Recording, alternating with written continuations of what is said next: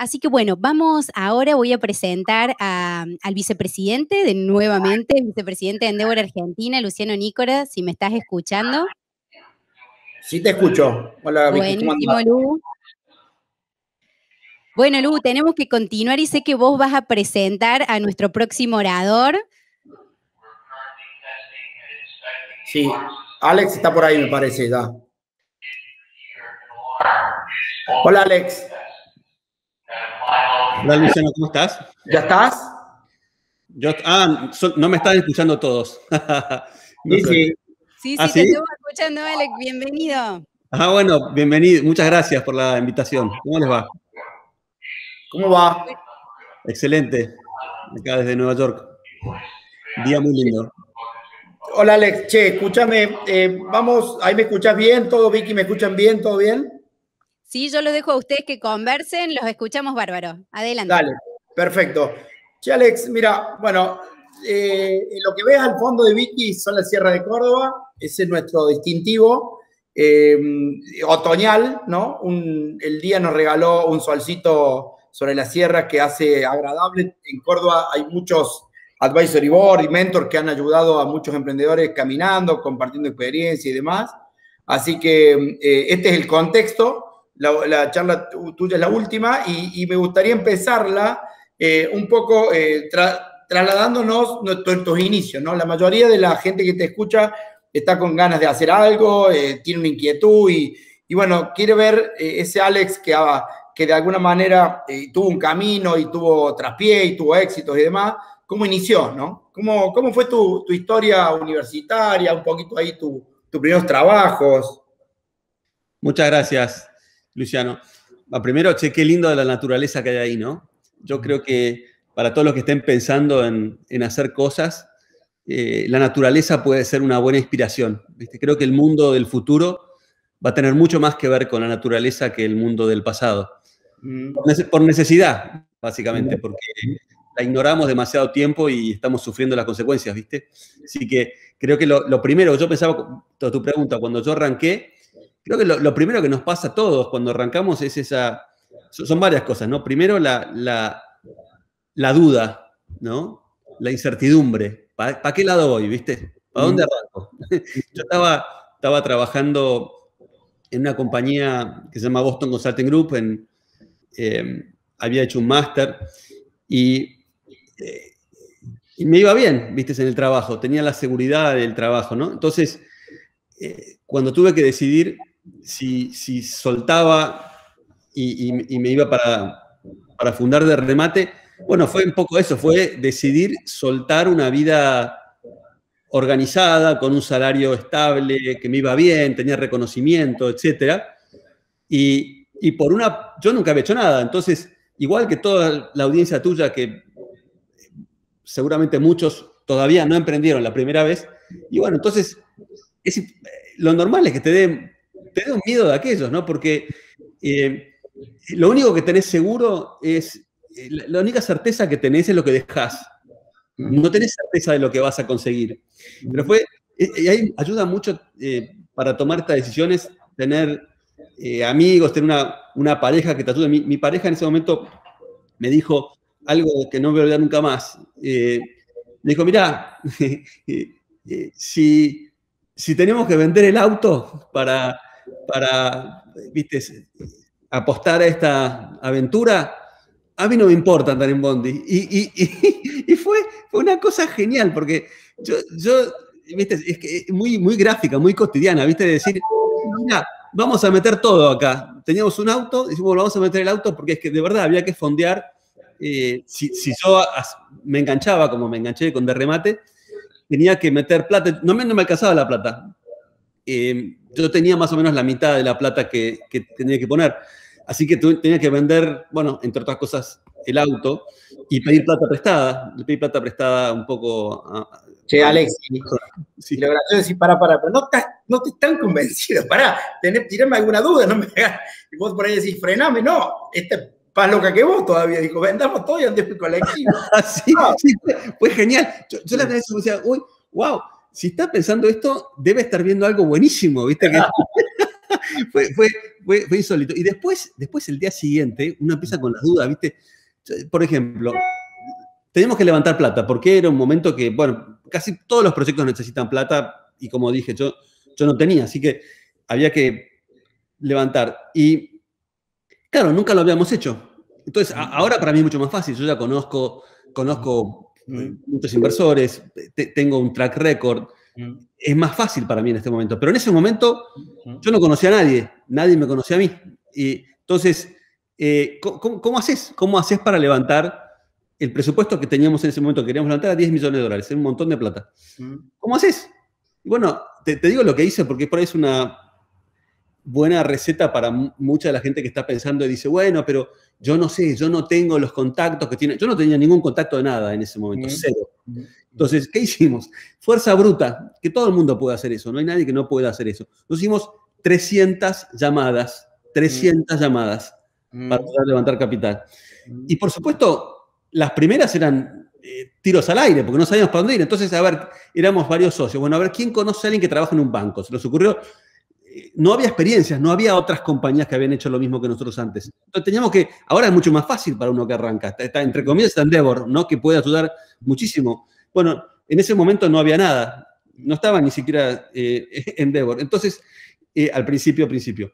Entonces, eh, bueno, tan elemental como, bueno, empezar a llamar, uno llamaba a un banco, el otro le preguntaba a un amigo, llamamos a algo que decía, no, nosotros no, no invertimos en eso, entonces, bueno, pero nos puedes recomendar a alguien entonces te pasaba con otro, y el otro con un tercero, y el tercero con un cuarto. Pero nos pasamos tres semanas, cuatro personas encerradas en un cuartito, haciendo llamadas dentro de Argentina, a Brasil, a Estados Unidos y demás, buscando plata. Creo que eso para mí fue un aprendizaje increíble, ¿no? De, de cómo, sin saber nada y sin ninguna, entre comillas, ventaja competitiva, uno igual puede arrancar eh, si es que se lo propone. ¿no? Y por supuesto, de las 300 llamadas, 200 fueron a la persona incorrecta y no sirvieron para nada. 100 más o menos para el lado del arco, 20, viste, bastante cerca del arco, y tres o cuatro dieron bien, al final conseguimos una, pero hubo que llamar a 300 para encontrarlos, ¿viste? Está clarísimo. Y ahí, en esa, a ver si vos podés recordar en todos tus caminos, fundaste varias compañías, ¿no? Una con, con, amigo, con el amigo Ale Estrada, que, ha sido tu íntimo amigo y un, gran compañero de, ruta, hoy no está, pero, pero esas, esas reuniones donde, donde vos podías de alguna manera eh, encontrar la idea. ¿Cómo fue Dinero Mail, por ejemplo? ¿Cómo fue? ¿Cómo surgió? ¿Qué pasó? ¿De dónde salió? ¿Qué? Todos fueron diferentes, ¿no? Dinero Mail y Ale, un genio absoluto. Siempre me acuerdo de él acá tengo eh, un cuadrito, que él, una foto que él, él le encantaba venir a este departamento que estoy yo acá y se quedó un montón de veces y siempre me, dejaba algún, algún regalito. Y hoy mira una, una, foto que él dejó, unas memorias increíbles. Em, mira, e, él me enseñó, em, viviéndolo, la importancia de pasarla bien.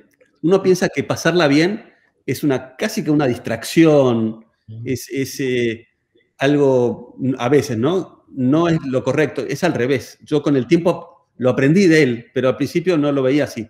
Yo creía que uno que tenía que sufrir y, trabajar 18 horas por día y, ¿viste? y, estar, si no estaba sufriendo, probablemente estaba haciendo algo mal. Y Ale no, Ale era de disfrutar. Y yo hoy sé, lo aprendí, lo confirmé con el tiempo, que es casi que el entusiasmo viene de disfrutar y uno necesita disfrutar el día a día y el trabajo para tener entusiasmo, para ser productivo y entonces conseguir los resultados.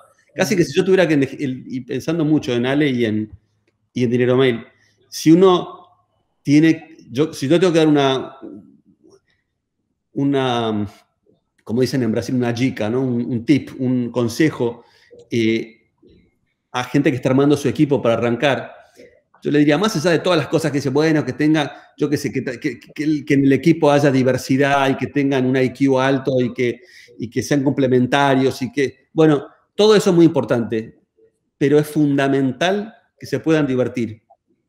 Un equipo que se puede divertir, que la pasa bien junto, es un equipo que es un equipo ganador. Piensen, piensen un equipo de, de cualquier deporte. un equipo de fútbol. Es un equipo de fútbol donde no hay buena onda y la gente no se divierte. ¿Qué chances tienen de ganarle al otro? Que, está con entusiasmo, que está con ganas y que se está divirtiendo. Parece una tontería, no está en ningún libro de management esto. Nunca te van a decir, el, equipo ganador es el equipo que tenga más capacidad de disfrutar y de divertirse, de pasarla bien. Pero es así. Y, porque la vida es un juego al final. Y eso es otra cosa que yo fui aprendiendo con el tiempo. Me llevó bastante tiempo aprenderlo. Es un juego.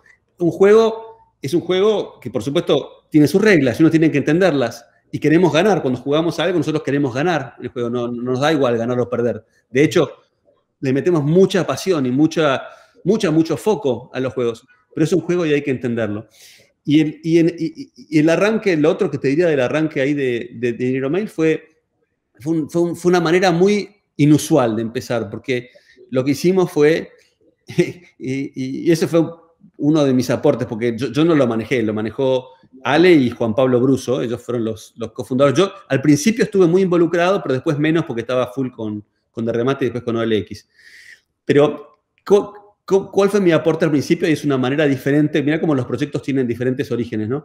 Eh, nosotros necesitamos una tecnología y y justo había otra compañía que se estaba fundiendo, se llama Digicuenta. Estaba literalmente, yo estoy leyendo el diario y veo, viste, el, el, anuncio de quiebras. Yo no sé si sigue existiendo, pero en ese momento había como una sección del diario y no sé por qué lo miré, porque nunca miraba, es todo cosa, eh, mensaje del universo. Y ahí estaba, Digicuenta literalmente quebrando, o sea, vendiendo los activos.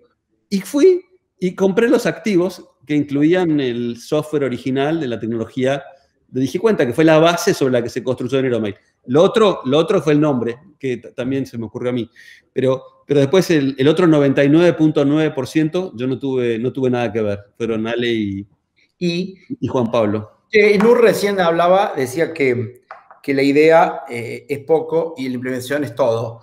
¿Vos, qué pensás de la idea? ¿Qué pensás de la implementación? Porque hay muchos que vienen, emprendedores, que te dicen, che, mira la idea que tengo, bárbaro, y el flaco no quiere compartir la idea, dice, cuando un tesoro es mía, eh, y pasan 20 años guardando la idea y nunca pasó nada.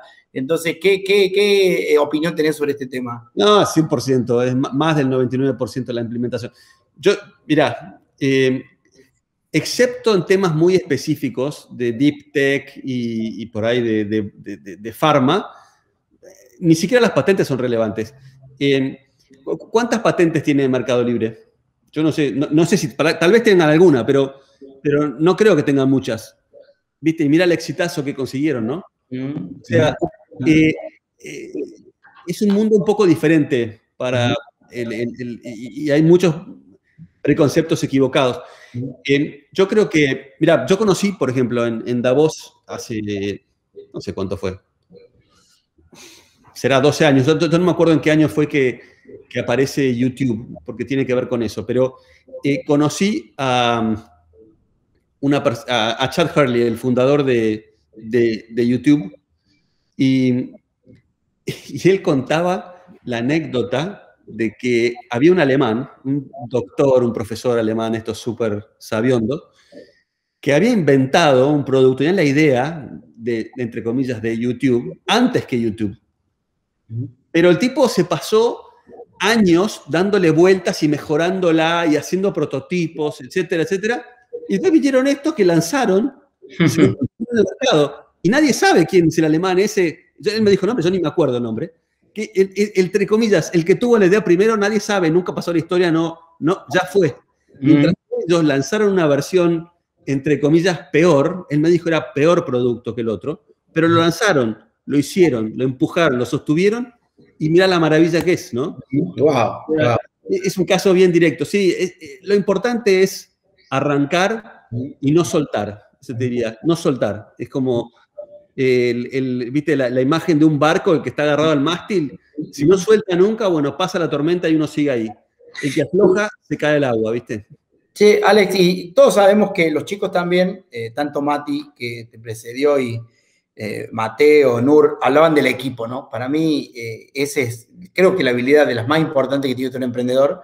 Para mí es más fácil levantar capital que armar un buen equipo, ¿no? Entonces, ¿cómo, hago, ¿cómo viene el capital cuando te ve un buen equipo? Entonces, ¿y cómo agarrar un buen equipo cuando creen que eh, ellos validan el proyecto? Entonces, ¿cómo fue tu historia, tu experiencia en armar equipo desde el primer proyecto de hoy, no? Sí, bueno, yo creo que si tengo que, que, anotar la cantidad de errores o equivocaciones o puesto en la manera positiva aprendizajes, mm. creo no me, no me alcanza, no sé, un libro así de gordo, ¿viste? Mm. Eh, eh, yo al principio pensaba que lo importante era buscar gente con la que yo tuviera afinidad, ¿viste? fueran, y un poco lo que pasaba, la gente que se quería sumar, ¿entendés? O sea, automático. Con el tiempo me fui dando cuenta de dos cosas. Eh, primero que no necesariamente todos los que se quieren sumar son los correctos para el proyecto, ¿viste? Mm. El proyecto, una vez que uno, si uno es el fundador, una vez que lo definió, y, y hay que buscar a la gente correcta, no dejar entrar a la gente incorrecta. Y gente incorrecta quiere decir las personas que no están, no tienen el ADN ni comparten la visión para desarrollar ese proyecto que uno está empujando. Y, eso va a pasar con casi toda la gente, porque es muy difícil justo tener las habilidades que hacen falta para hacer algo importante y competitivo, etc. ¿no? Así que lo primero es eso, no necesariamente arrancar con lo más fácil, los que están buscando algo y justo me tocaron la puerta, sino salir a buscar las personas ideales. Y lo segundo, el tema ese de la afinidad y demás, creo que lo más importante, y que en algún momento yo, me di cuenta, es que eh, a veces es un problema cuando la gente es muy parecida a uno, a uno mismo, ¿no? Porque nosotros somos, esta imagen que me la dio a mí un, asesor japonés que tenemos que se llama Yasuhiko Genku Kimura, que es un genio, él dijo, mira, si vos vas por la vida y te encontrás con un clon tuyo, o sea, exactamente igual a vos, ¿cuánto te suma ese clon? No te suma nada, porque todo lo que el clon tiene, vos ya lo tenés. Entonces, la manera de que algo, de que otra persona te sume es justamente que se diferencie de vos, no que sea igual. Y eso a mí me lo aclaró muchísimo eso. O sea, empezar a dejar de buscar, bueno, la similitud, sino la diferencia. Eh, y una vez que uno busca esa diferencia, por supuesto, buscar la compatibilidad, porque hay eh, diferencias complementarias y diferencias conflictivas, ¿no? Por supuesto que uno quiere complementariedad porque no quiere conflicto permanente, pero buscar la diferencia, buscar lo que uno no tiene. Y para eso es muy importante, creo yo, conocerse, ¿no? También yo aprendí con el tiempo y no era el caso al principio. Una vez hice, hice me sorprendí muchísimo. Después de haber trabajado algunos años con, con equipo, tanto en Derremate como después en OLX, ya en Let Go, por suerte lo había hecho desde el principio, le pregunté al equipo cómo era yo, ¿no? Pero muy estructuradamente, ¿no? Con un montón de preguntas, 360, ¿no? Eh, llenando unos papeles. Y me sorprendí, porque lo que ellos pensaban cómo, era yo era muy diferente a cómo, yo creía que era yo, ¿no?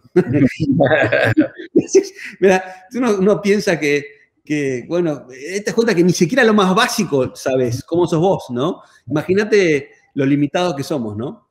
Vos sabés que en, el, en lo que vos decís, la carga genética que tenemos milenaria de acercarnos a los iguales, ¿no? Nos hace que yo construyo y proyecto con los iguales. Entonces digo, tengo al lado, y eso, muchos grupos eh, de emprendedores, muchos grupos de founders, cuando los veo, vienen las afinidades. Y cuando lo veo, digo, este equipo no es complementario, no es, pero no se los puedo transmitir, porque parece de perogrullo, una verdad de perogrullo, porque lo hice en el libro.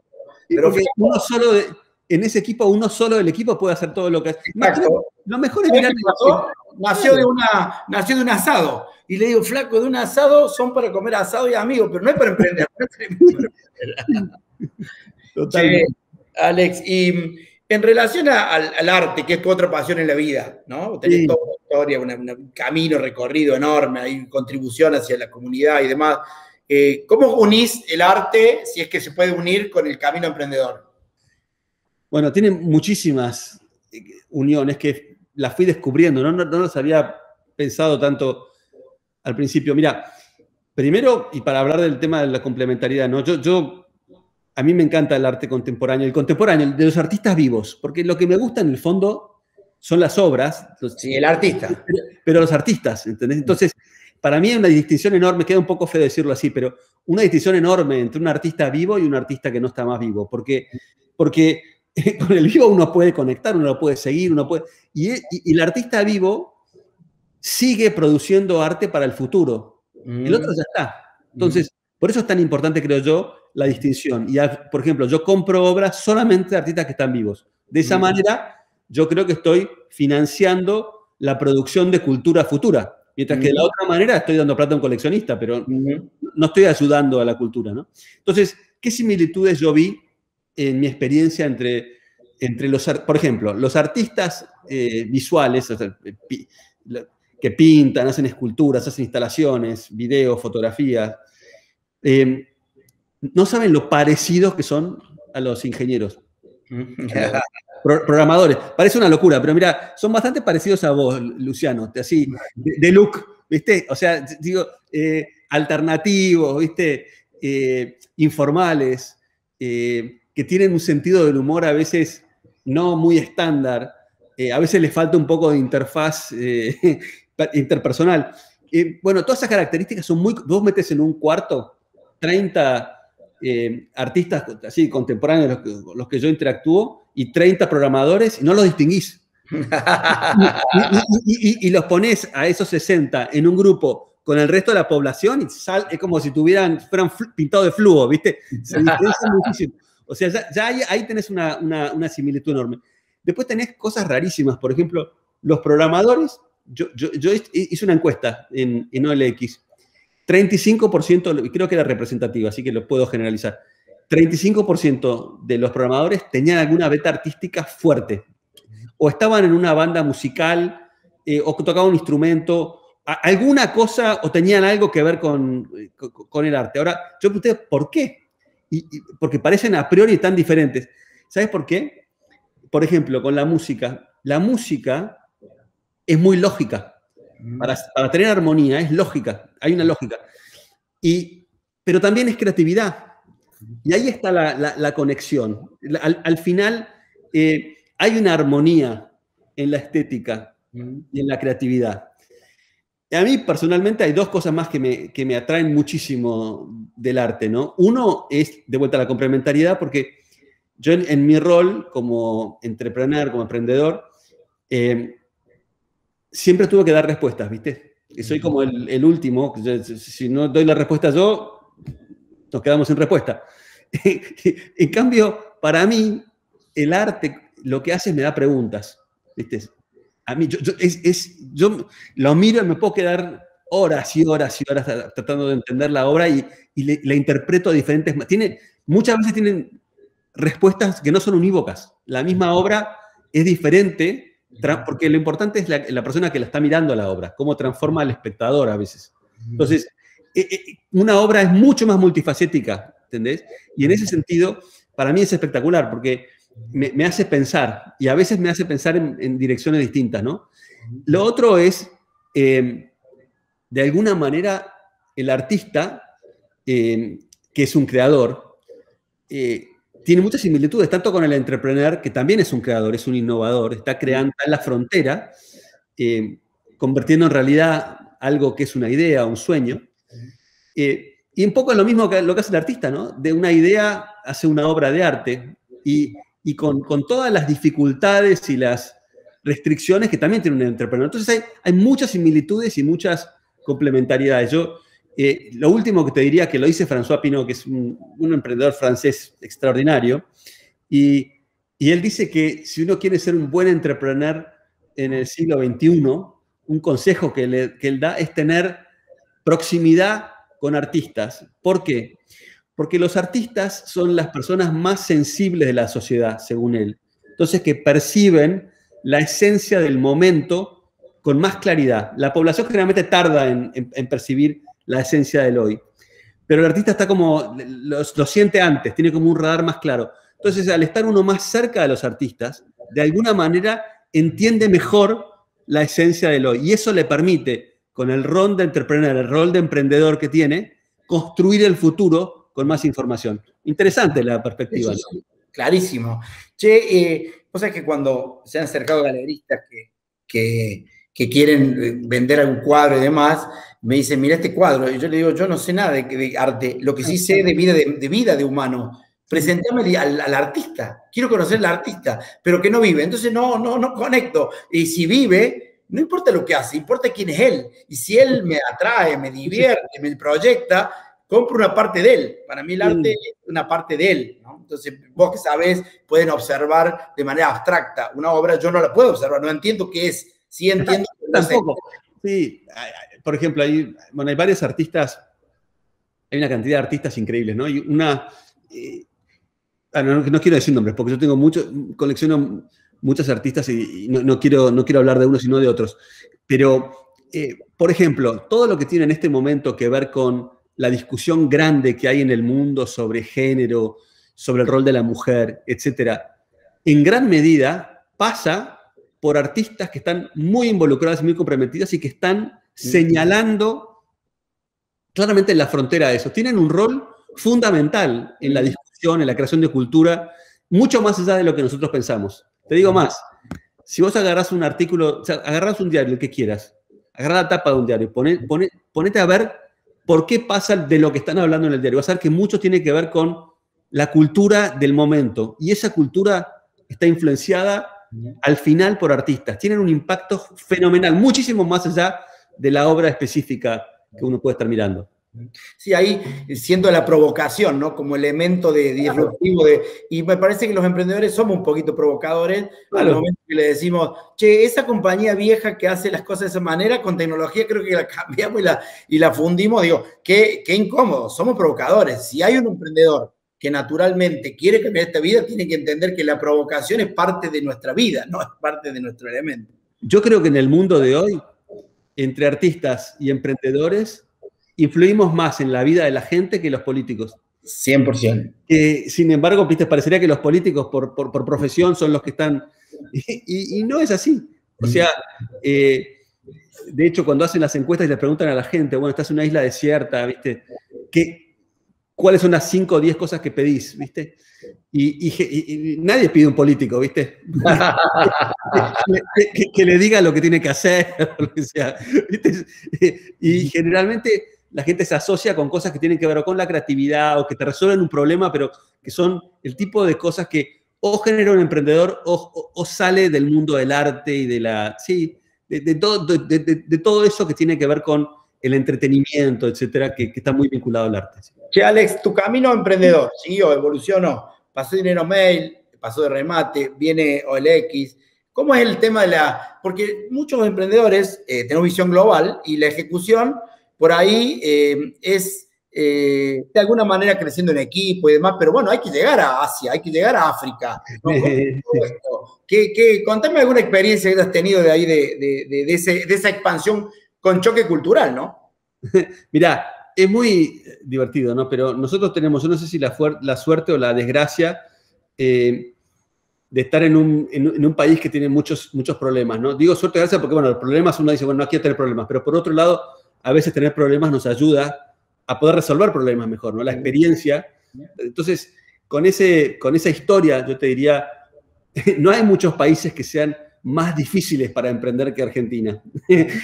yo te diría que, casi que tenemos una ventaja enorme, porque si hemos podido sobrevivir en Argentina con todos los cambios de reglas, la inestabilidad macroeconómica, los, problemas eh, eh, ¿viste? de cambios de leyes, etc. Con todo eso, el resto eh, es como, viste, después de estar trepando montañas, que te digan, bueno, ahora podés correr en, eh, bajada, viste, y, sobre un pasto suavecito. Bueno, podés correr casi que descalzo, ¿no? Y es, un placer total. Entonces, primer comentario. Eh, OLX, nosotros cuando lo lanzamos, nos propusimos, mi socio Fabriz Grinda y yo, nosotros queríamos construir el Craigslist, que en ese momento era como la plataforma nuestro benchmark en Estados Unidos, para el mundo eh, que tenga sentido. Entonces hicimos unas matrices y demás, y en ese momento, en el 2006, eh, llegamos a la conclusión que los países más atractivos eran Brasil, Rusia, India y China. Los BRIC. ¿Se acordarán de los BRIC? Que en un momento, por una década, fueron donde todo pasaba en el mundo. ¿no? Lo primero fue eso, identificar a dónde queríamos jugar. Y eso lo hicimos siguiendo un proceso que, yo le puse el nombre eh, eh, interno, dentro, que lo llamábamos el, el, approach del marciano, el Martian approach. Pensar como un marciano. Si, yo fuese un marciano que aterrizo en el planeta Tierra hoy y tengo que decidir a dónde quiero ir, bueno, ¿a dónde voy? Pero como marciano, sin ningún apego. Y interesantemente, siguiendo esta regla del marciano, los primeros cuatro países fueron Brasil, Rusia, India, China. Argentina fue el número 14. Vos fíjate que siendo eh, OLX una compañía que nace en, Palermo, en Buenos Aires, eh, lanzamos Argentina número 14. Mm. Eh, y, mi socio, que era francés, Francia ya no me acuerdo cuándo lo lanzamos, pero después todavía que Argentina, porque había competencia y entonces eh, no encajaba en el, approach de marciano. ¿no? Y en estos países que China y la India, de los dos por ahí más, entre comillas, lejanos a nosotros, te puedo contar una anécdota divertida de cada uno. En el caso de la India, que hoy eh, OLX eh, anda increíble en, en la India, todos los indios además creen que se inventó en la India OLX. ¿Cómo, cómo, lo, ¿Cómo, lo, deletrean? ¿Les, les, les parece cómodo las letras? Sí, sí, oíme, hasta, hasta lo han convertido en un verbo. Yo, a mí me mandaron tapas de diario que dicen el, el, el, el primer ministro debería eh, OLX, o sea, Prime Minister should OLX, tal a un colaborador que era malo, como que lo venda, por, ¿entendés? O sea, lo convirtieron en, en un verbo. Entonces la gente habla de, o el exar. Algo. Como googlear. Sí, sí, como googlear. Mm. Eh, increíble, increíble. Bueno, nosotros lanzamos la India eh, sin haber pisado la India, ni Fabriz ni yo. Y fue así porque, porque justo cuando íbamos a ir para allá, hubo un problema con eBay en la India y que no sé qué alguien había publicado algo inapropiado y lo habían metido preso al country manager de eBay. Y entonces dijimos, imagínate, si a eBay le pasa esto, a nosotros nos va a pasar seguro. nos dio un miedo, dijimos, no, nos mandan a meditar. Mejor no vamos a la India, ¿viste? Y entonces, a, distancia contratamos a, un indio que se, llamaba, se llama eh, Amarjit Batra, hoy, maneja em, eh, Spotify en la India. Es un titán, un gran amigo de la vida, que agradezco mucho haberme encontrado. Y él, él lo manejó, pero al principio, los primeros tres años, fue sin oficina. Y, nos convertimos en líderes de la India sin tener una oficina en la India, solamente teniendo una persona, Amarjit, trabajando en su casa. Digo esto porque se hoy, por supuesto, en una oficina grande en Nueva Delhi tiene cientos de personas, etc. Pero lo que quiero decir es que uno puede hacer estas cosas de una manera mucho más casera y mucho más simple de lo que uno cree. Y estoy hablando de un país como la India, que es un país gigantesco y un país muy interesante. En China, la anécdota que te contaría muy, también totalmente nada que ver estábamos, habíamos decidido, China era como, había que ir a China en ese momento con lo que queríamos hacer. Yo nunca había pisado China, tampoco. Después, by the way, después fui, no sé, un montón de veces a la India y, por supuesto también fui un montón a China. Pero para la, anécdota que voy a contar ahora, todavía no había ido. Y entonces estábamos viendo qué hacer. Es, un poco complicado por la regulación. Es más complicado China que la India. Entonces habíamos decidido hacer una alianza con otro startup, ¿no? Y entonces estamos buscando, encontramos uno que se llamaba Ideng, que finalmente hicimos un, joint venture con ellos, una fusión entre las dos compañías. Pero lo divertido fue la primera reunión. Entonces, todavía no había Zoom, así que... ¿Cómo era el chino? ¿Cómo se llama el chino? Yanma. Ah, Yanma. Sí, pero que esto, bueno, no sé si debería, ahora que voy a contar la anécdota, no sé si debería haber dicho el nombre. No, no, van a ver, creo que no, no van a entender aparte. Sí, sí, sí, pero, pero fue muy gracioso. bueno, teníamos el primer Skype con, con esta persona. Y, eh, en ese momento Skype. Sí, sí, sí, porque no había, no había Zoom, no había... Y, y yo de repente lo veo, prendemos la cámara, empezamos a hablar y veo este, esta persona sentada en, atrás de un escritorio y está en cueros. O sea, se, se le ve como la cara y, y, la parte así de pecho. Yo digo, qué cosa más rara, ¿no? Y empezamos a hablar y digo, bueno, hará mucho calor, será muy informal. Yo, hacía de cuenta que era todo muy normal, ¿viste? Sí, y, es un tema cultural, voy a decir. Esto... Sí, claro, debe ser alguna cosa, no sé, por ahí me está mandando un mensaje, claro. de, no sé, de, cercanía, de, de, buena onda, ¿viste? Y en eso lo veo que se para y efectivamente estaba como vinimos al mundo, ¿no? Y yo digo, esto ya no puede ser muy normal. Entonces lo, lo miro y digo, Jan, qué lindos libros que tenés en la biblioteca ahí atrás, porque había una biblioteca atrás de él.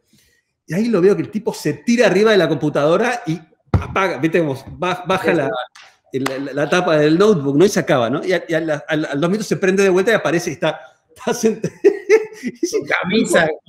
El tipo no se había dado cuenta que estaba, estaba, bueno, fue muy, muy graciosa. Después hicimos... Etapas de, de, videollamadas pre-pandemia. Sí, sí, esto, fue en 2007, así que, Imagínate, hace, muchos años.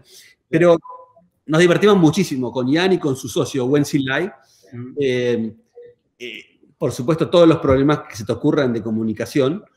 Eh, pero otra cosa genial, mira, cuando vino a Margit, el indio, primera vez que viene a Buenos Aires, hacemos un offsite, y, estamos caminando por, no sé por dónde, por Palermo, por algún lado, por Libertador y no sé qué. Entonces, éramos un grupo ahí, de, OLX siempre fue muy internacional, mucha gente de, muchos lados. Y yo le pregunto a Martín, bueno, ¿qué te parece Buenos Aires? ¿Y qué te parece Argentina? Y me da la respuesta, un físico como todo es relativo. Ah, lo que más me impresiona de Argentina es que todo es muy organizado. no. ¿No, genial? Siempre se puede estar peor. Claro, cuando uno, cuando uno visita Delhi, te das cuenta que, viste, en términos relativos somos alemanes nosotros, viste.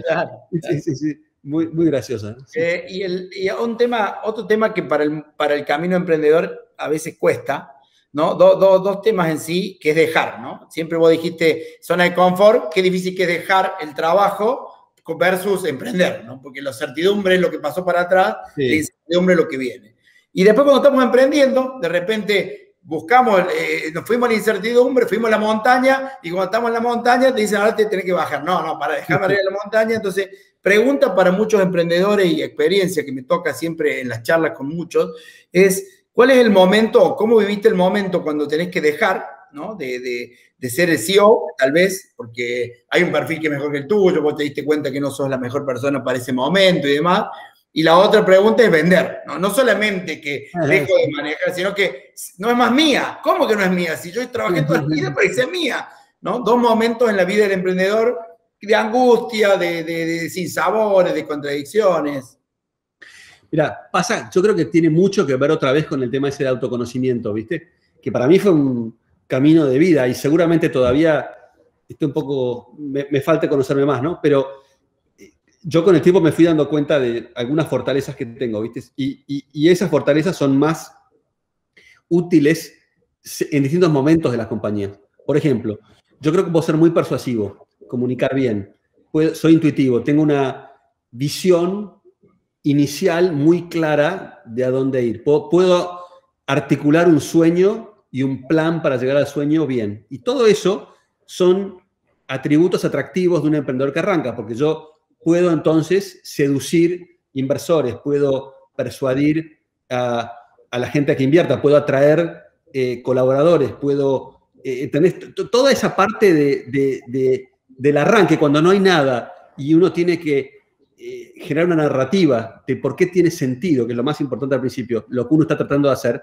y de esa manera atraer inversores, socios, eh, empleados, etcétera, traer todo eh, para que todos juntos construyan lo que hay que hacer. Bueno, esa parte yo la puedo hacer, la puedo hacer bien, porque encaja con mis habilidades. Eh, yo también me di cuenta con el tiempo que ya cuando la compañía crece mucho, el X hoy tiene, yo ya, ya, salí de OLX hace, hace años, ¿no? Pero cuando OLX ya tenía, como 4.000 o 5.000 empleados, algo así, yo ya me di cuenta que ahí ya no soy tan, no, está tan hecho para mí ese contexto, ¿viste? Cuando tener reuniones y burocracias y aprobaciones y, pedir permisos. Y esto, bueno, hay gente que, encaja mucho más en eso, que, tiene, que puede funcionar mucho mejor con eso, yo, con ese tipo de contexto. Para mí eh, es más divertido de alguna manera el caos, el, arranque, los grupos más chicos. Somos caóticos, somos caóticos, disfrutaba la creación, se produce en el caos. El vértigo. lo, inesperado, ¿viste? Cada día vida o muerte, ¿viste? Y además el impacto, vos haces una decisión y tiene impacto grande. entonces, hay otra gente que no, que tiene mucho más capacidad para, entonces, para el otro momento. Entonces, eh, fue como bastante natural. En un momento, en el caso de OLX, había crecido mucho. Eh, tenía había, Naspers había invertido mucha plata, etc. Es un momento que la persona para, ideal para ser CEO de ese proyecto, con esa escala, etcétera, etcétera, claramente no era yo. Y bueno, entonces vino un tipo que con el perfil que te imaginas, ¿viste? ex McKinsey, mucha, eh, mucha capacidad operativa. Proceso. Muy de proceso. Súper de procesos, ¿viste? Exacto. Y, yo soy el antiproceso, es un caos. Entonces, pasé a Sherman, que fue también muy divertido el aprendizaje, ¿viste? Eh, tiene pros y cons, ¿viste? Mm. el problema nuestro es que nosotros queremos todo, ¿viste? Entonces, queremos estar en un proceso caótico, queremos poder movernos en el caos y todo, pero además que sea enorme la compañía. No, que llegue proceso y que gane plata. Nos divertimos en el caos y después nos vemos los números, pero bueno. Totalmente, ¿viste? Eh, Alex, y para ir cerrando, última pregunta que para mí es muy importante lo que estás haciendo hoy, como un emprendedor luego de, toda esta carrera eh, decide impactar en la, región y demás, ¿no? Si nos puedes contar un poco Alfa y, los SPAC y todas estas cosas que, que, está pasando y que es una herramienta que me contaste el otro día, che, mira, tiene un tiempo todo esto, pero algunos la estamos conociendo ahora, ¿no? Todo el, mundo emprendedor de Córdoba eh, se corrió la bolilla, todos hablaron y por ahí en manos tuyas poder contar más o menos qué implica, qué quieren hacer y, todas estas cosas. Sí. Bueno, mira, es una herramienta genial porque eh, da vuelta un poco la secuencia natural eh, de cómo se levanta capital en, una IPO, una oferta pública de acciones en Estados Unidos. Entonces, ¿qué es lo normal? Uno funda una compañía, la compañía crece, crece, crece, empieza a tener, empieza a facturar, tiene un día break-even, etcétera, y un día tiene una escala muy grande y entonces eh, lo normal es que en ese momento, eh, si ya está, puede predecir los flujos de fondos con bastante certeza, etcétera, se le abre el mercado de capitales americano y sale a la bolsa, como salió, salió Mercado Libre, salió Despegar, salió Globant, salieron muchas cosas, y, y, otras, ¿no? Y, y, ahí despegan increíblemente, ¿no? Porque porque pegan el, o sea, ahí tienen acceso a más o menos capital infinito, la reputación eh, de, jugar en la primera liga a nivel planetario como empresa, que eso atrae, permite atraer eh, no solamente más capital, sino eh, al mejor talento y, el mejor director, etcétera, etcétera, etcétera. Todo eso pasa. Ahora, ¿qué es lo que hace un SPAC? Da vuelta a eso. Uno, en lugar de primero construir la compañía y esperar y, y una vez que tiene cierta escala, salir, uno hace una IPO en el momento uno, sin nada. Entonces, mi socio Rafael Steinhauser y yo fuimos eh, con un plan de negocios, que es invertir en una compañía de tecnología en América Latina, hicimos una IPO en Nasdaq solamente con un equipo, eh, tenemos un CFO increíble que se llama Rahim, eh, Rahim Lacani, un genio de estrategia que se llama Alfredo Capote, otra persona también de estrategia que se llama Kirill Matalov, un abogado increíble que se llama David Dorie, mi socio Rafael, etc. Yara también, bueno, un grupo increíble. Con ese equipo y un plan de negocios, levantamos el capital, que son 213 millones de dólares en el capital, que está en la cuenta, nosotros cotizamos ya en la bolsa. Sin nada, no hay nada. Bueno, ahora tenemos el negocio y el cash. Y ahora tenemos 24 meses para buscar una compañía privada, o sea, que no cotice en bolsa en la región de tecnología, para hacer una transacción con esa compañía. ¿Cuál es la transacción? Es una combinación, es como una fusión. En ese momento de la fusión, la compañía que antes era privada pasa a ser pública, porque como se fusionó con nosotros, que ya cotizamos en bolsa, ahora ellos también cotizan en bolsa, sin tener que pasar por el proceso de la IPO, porque nosotros ya, hicimos el IPO. Entonces, la compañía esta privada se ahorra todo el tiempo y el esfuerzo de, de salir a la bolsa, porque al fusionarse con nosotros ya sale automáticamente a la bolsa. ¿Y nosotros qué conseguimos? Bueno, conseguimos un porcentaje de las acciones de la compañía, esa es nuestra retribución. Entonces todo el mundo contento, ¿viste? Nosotros, porque, ¿y los inversores por qué, por qué lo hacen así? Bueno, porque confían en que nosotros vamos a ser capaces de encontrar, mirando por toda la región, la compañía ideal para que ellos inviertan. Entonces los inversores contentos, nosotros contentos y la compañía contenta. Si eso pasa en los próximos 20 y pico de meses, porque 24 meses desde el 18 de febrero cuando hicimos el IPO, eh, bueno, entonces lo anunciaremos y, Alfa, que ya cotiza en bolsa, cotizará, pero con otra compañía eh, como, como contenido de, este vehículo que en este momento está público en NASA. Ojalá, Alex, que haya alguna empresa del interior o cordobés en tu pipeline Ah, sí. y que podamos de alguna manera alguna vez soñar con tener un, un- Hay dos grandes unicornios acá que tienen la historia, que es Hardcore y AGD, compañías que más de, de perfil industrial, pero bueno, siempre soñamos con tener un unicornio de Córdoba y, y inspirar a otros, ¿no? Lo- no porque tener un unicornio por tenerlo, sino lo que inspira y lo que desarrolla y lo que estimula. Sería Así que, genial, ¿no? Córdoba Gracias. siempre, fue, Córdoba siempre fue, en toda la historia de Argentina, eh, tan elemental, no tan fundamental para, para todos. Le dio estabilidad, eh, muchas veces piensa diferente y muestra que, viste, lo que, lo que, lo que, lo que el resto no ve. Eh, además del genial sentido del humor, y que para mí es importantísimo, ¿viste?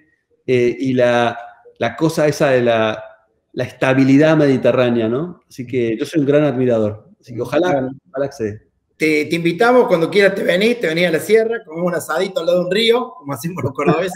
Sí. Y gracias por compartir la experiencia, gracias por tenernos en cuenta por estas cosas en las empresas tecnológicas de Córdoba que, que estamos hace 15, 20 años trabajando en un semillero grande y algún día empezarán a aparecer eh, en, en diarios globales eh, las, las startups cordobeses.